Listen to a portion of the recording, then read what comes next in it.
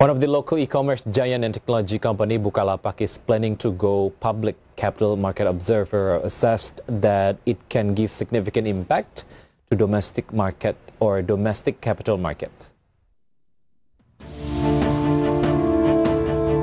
Capital Market Observer assessed Bukalapak's plan to go public is highly awaited by investors. The thing is, Bukalapak is a startup company that has a large market capitalization value after Gojek and Tokopedia.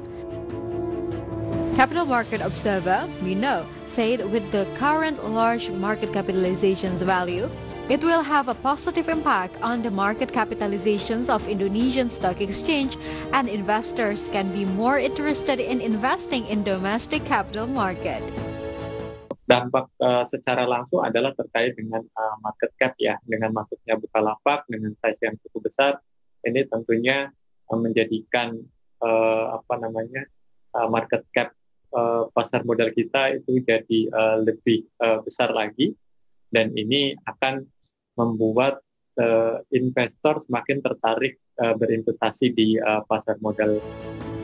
Mino added, with the IPO of Bukalapak, investors will be presented by many choices of investment instruments, which later the technology sector can be an option. Jakarta, Gilang Praditya, IDX Channel.